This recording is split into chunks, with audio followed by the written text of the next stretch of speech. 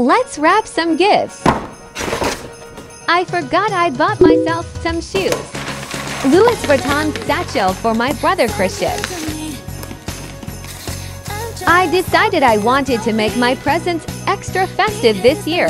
How did I do? My dad said he wanted some Laker gear and some cash to go shopping for himself. I put the cash in a Prada box to throw him off.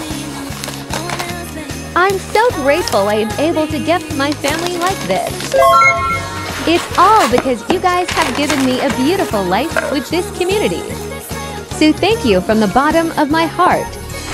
Prada crossbody bag for my oldest brother Andrew. This ribbon is cute, but it's too thick to tie. I tried my best. Van Cleef necklace for my mom. I wanted to make her the prettiest gift, but the box is so small. Head to part two for the rest of the gift.